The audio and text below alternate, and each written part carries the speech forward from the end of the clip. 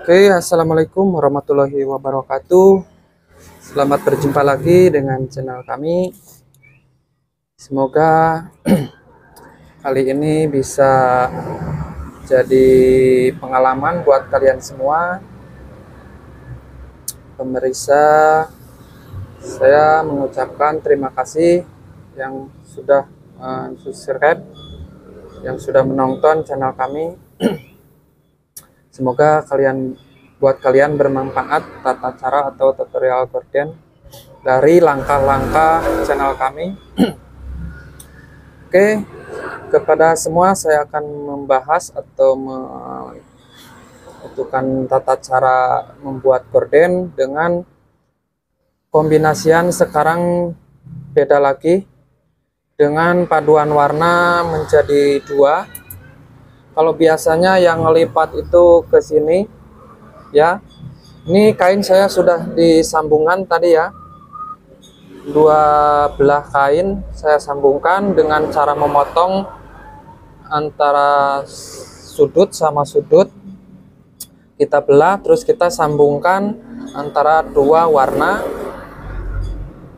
Warna kopi susu sama merah hati atau ungu ini sudah saya sambungkan sudah saya jahit. Sekarang tata caranya gimana cara untuk me melipatnya dengan paduan warna antara dua bagian bagian atas sama bagian bawah. Caranya sekarang tinggal lipat saja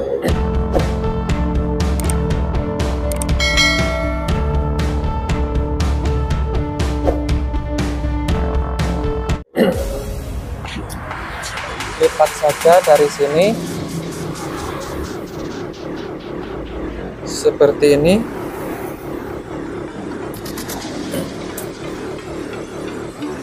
Oke. Perhatikan. Ini gelombang mini.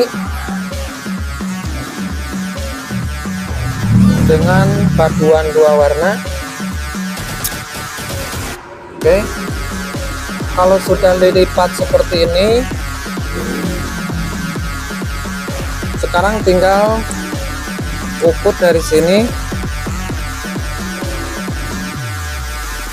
Tata caranya hampir sama kayak gelombang-gelombang biasa cuman kalau yang agak kecil dibedakan lagi antara jarak-jaraknya.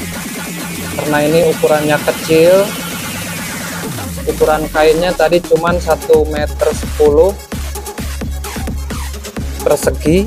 Jadi sekarang bikinnya ini untuk tata cara mencontohkan gelombang dua warna atas sama bawah. Kita ukur dari sini 20 cm seperti ini. Terus ke sini 74 oke 74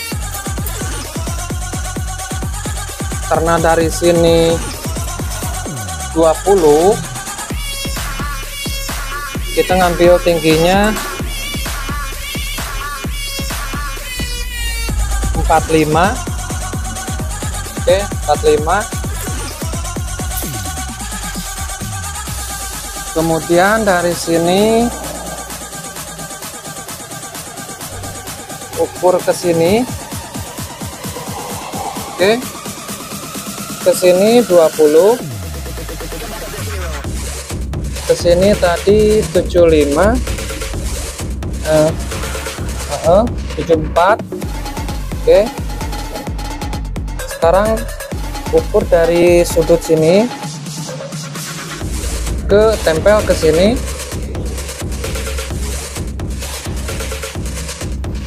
Sekarang tinggal dari saja.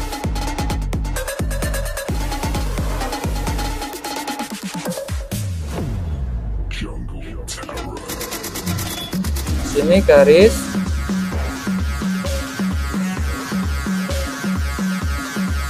Seperti ini garis. Kalau sudah kemudian gunting saja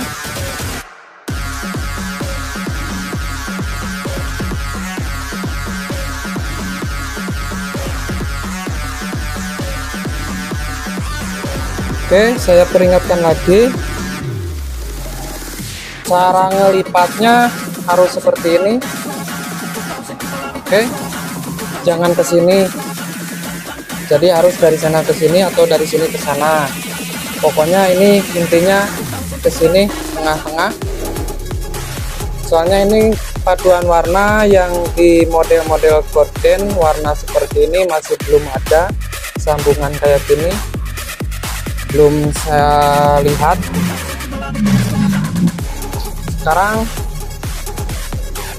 sini bentuk saja yang sudah digaris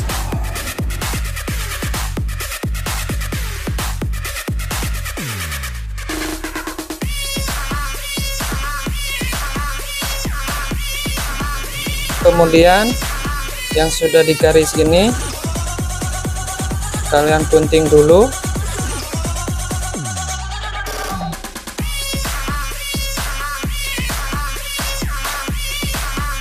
Oke. Sudah seperti ini.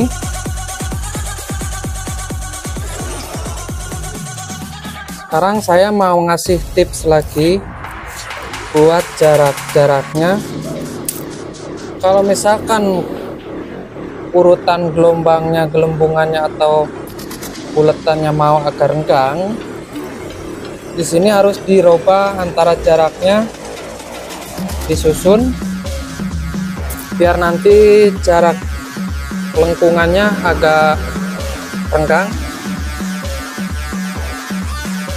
Pertama dari sini kasih 3 cm terus 11 cm 12 cm 13 cm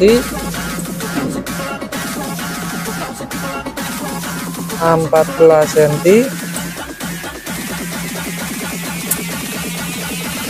oke.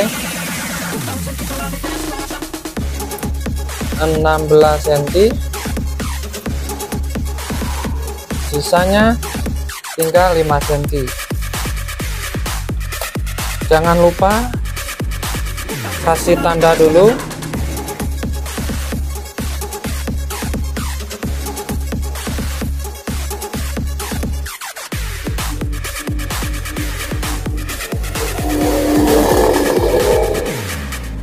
Perhatikan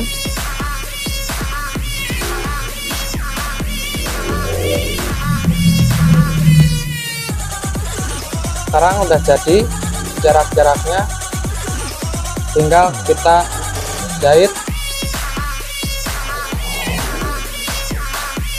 Oke sekarang sudah di tempat penjahitan. Tata caranya sama kayak bikin gelombang-gelombang biasa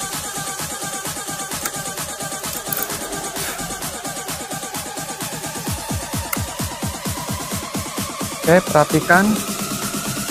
Sekarang tinggal dijahit yang bagian atas sebelah kanan.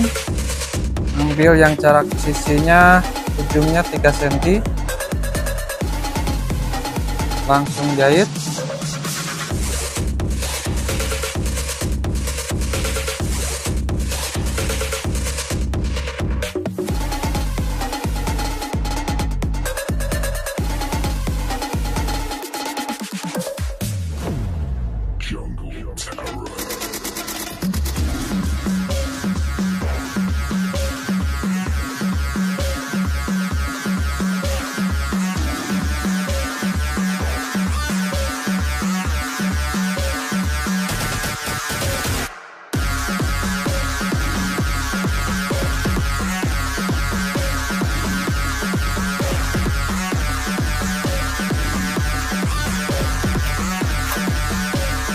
kita dicek dulu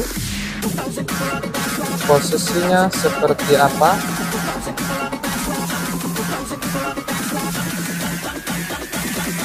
Ini bagian bawah sudah nampak.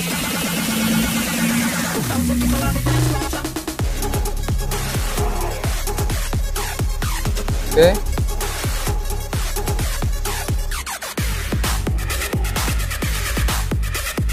Ini gorden ini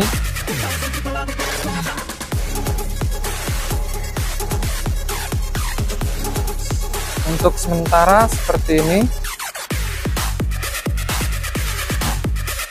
Oke.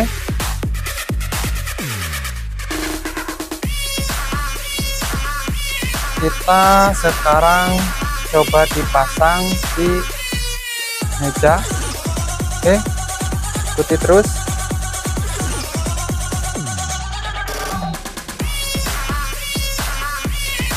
Oke sekarang sudah kita paku. Ya gelap ya.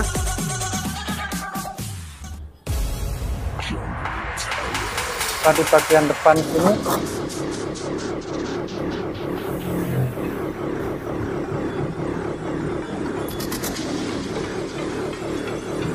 Oke. Gordennya sekarang sudah saya pasang di meja saja untuk percobaan. Ini paduan warna antara atas sama bawah. Kombinasian yang beda cara cara menyambungkannya.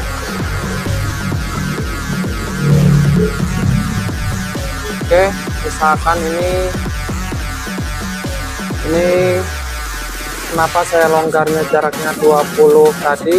Berarti 40 cm. Fungsinya ini mau bikin layar masuk ke sini ini ditempel di depan ini tempelnya bagian belakang. Jadi layar bisa masuk ke sini.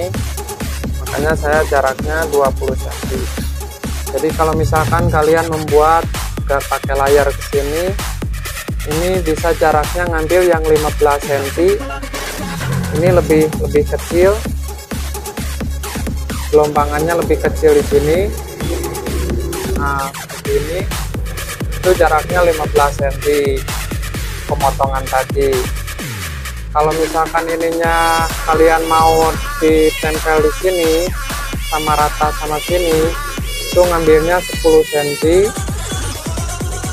kalau ukuran kecil 10 cm jadi ininya nanti bisa rapat di sini dijahit nah itu hari ini kalau ini kan mau ada pembuatan layar jadi posisinya ininya agak lebar agak luas buat masuk layar. Oke sekian dulu penjelasan kali ini. Semoga bermanfaat buat kalian mau mempelajari mempelajarinya